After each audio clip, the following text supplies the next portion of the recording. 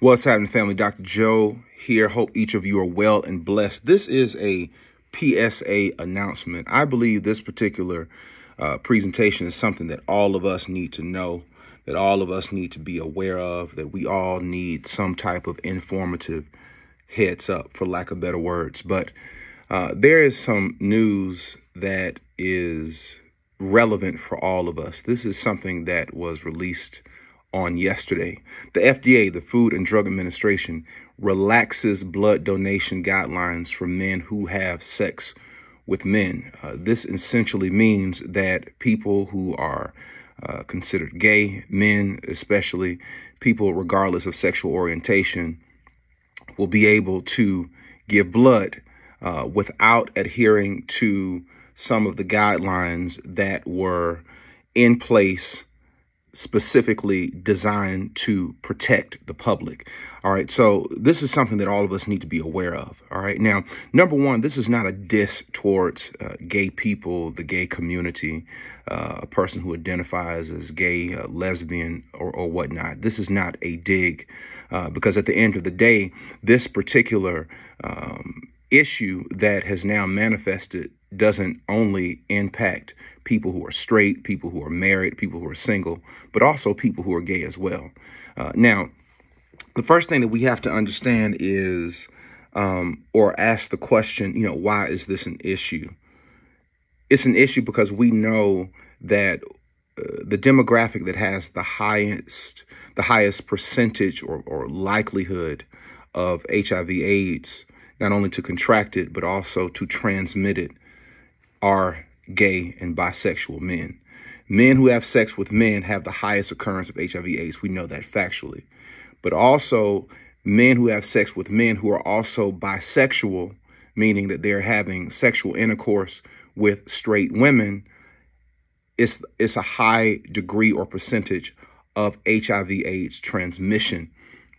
Okay, we know and we understand that. But now uh, the FDA is relaxing blood donation guidelines for men who have sex with men. Listen to this. Gay and bisexual men in monogamous relationships can donate blood in the United States without abstaining from sex under a federal policy finalized Thursday by health regulators. The Food and Drug Administration guidelines ease decades old restrictions designed to protect the blood supply from HIV. The agency announced plans for the change in January and said this week the new approach can now be implemented by blood banks. Okay. After years of protest, FDA blood uh, FDA makes blood donations easier for men who have sex with men. Instead, all potential donors, regardless of sexual orientation, sex, or gender, will be screened with a new questionnaire that evaluates their individual risk for HIV based on sexual behavior, recent partners, and factors.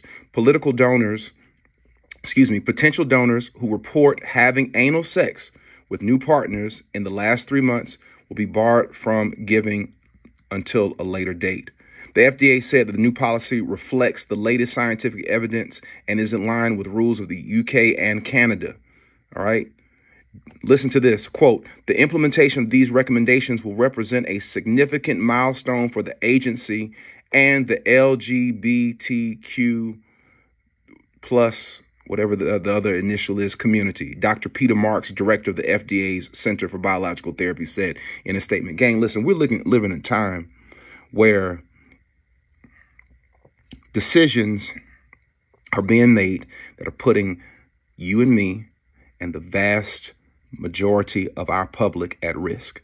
This is a politicized issue that makes absolutely no sense. The whole purpose of these guidelines that were in place was to protect the public. We know that a person who contracts HIV, that that particular virus can remain dormant but that person can still have levels of uh, uh, of, of virus that can be transmitted. We know this. And all of these different articles that are coming out on this is saying that the reason why that was in place was to protect the public. It's ridiculous the times that we're living in. So, being that that is what it is, and you know, this is PBS News Hour. It was um, published on PBS.org, but this is made national news. But the question that I want to answer on this platform, Journey Life TV, place of, of light in these times of darkness, is what should we do? I believe personally that if you're a person that you're preparing to have some type of surgery, some type of procedure, any type of thing that could require someone else's blood, that we need to be doing more research and consider self banking our own blood. There is a term and there is a thing. Let me tell you something. In a couple, if I were having uh, surgery, what we can do is when you reach out to your physician, your general, your, your GP, you can ask about banking your own blood and you can have your blood banked before um, that particular procedure. Human blood can be banked for some odd uh, six weeks, 40 plus days, some 42, 45 days, somewhere along in that. I'm sure uh, there are professionals who can fact check that.